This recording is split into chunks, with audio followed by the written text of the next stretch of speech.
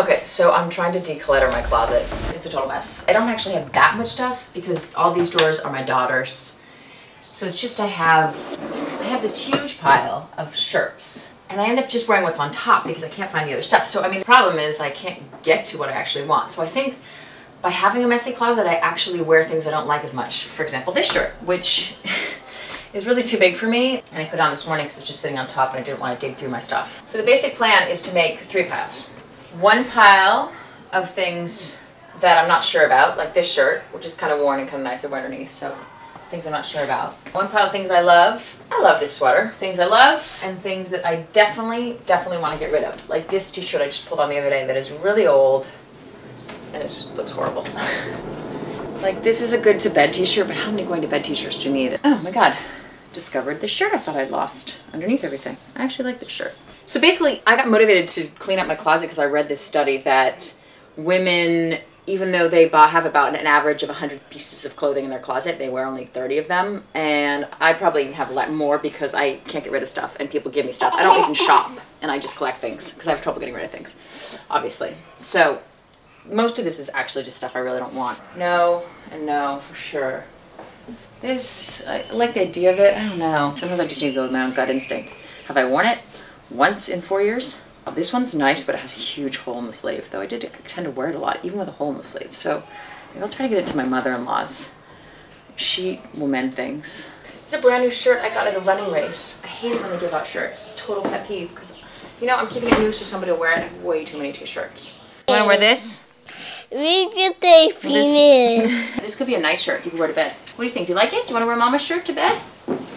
Back with me to California to my mom's. What's your shirt? Do you like it? Yeah. Yeah? Maybe I'll go through and try on the maybe pile.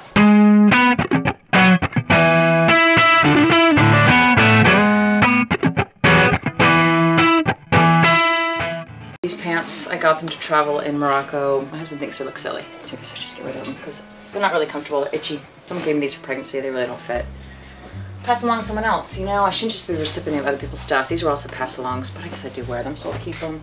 Well, sometimes this looks like a good basic top, but I know myself, and it feels sort of tight, and I never feel comfortable in it, and I just don't think I'll ever put it on. I mean, I've put it on like two times in the 10 years I've had it. This is from my past life. I wouldn't wear these together, but this is a little maybe too peasanty for me now, and this is a little bit too teenage girl for me now, I think. So I think I'm gonna get rid of them both. I'm really reducing, though I haven't gotten down to 15 to 20 pieces of clothing, which would be the perfect capsule wardrobe.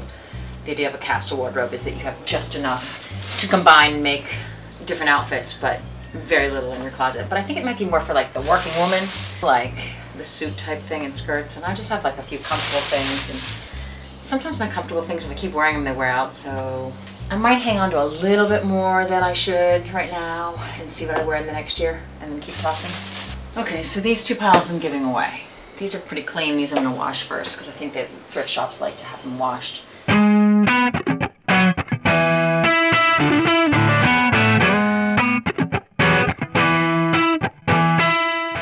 Tend to go shopping with other people and they give me advice and maybe that's not the best idea because maybe it might, might look good on me but not what I'll actually wear.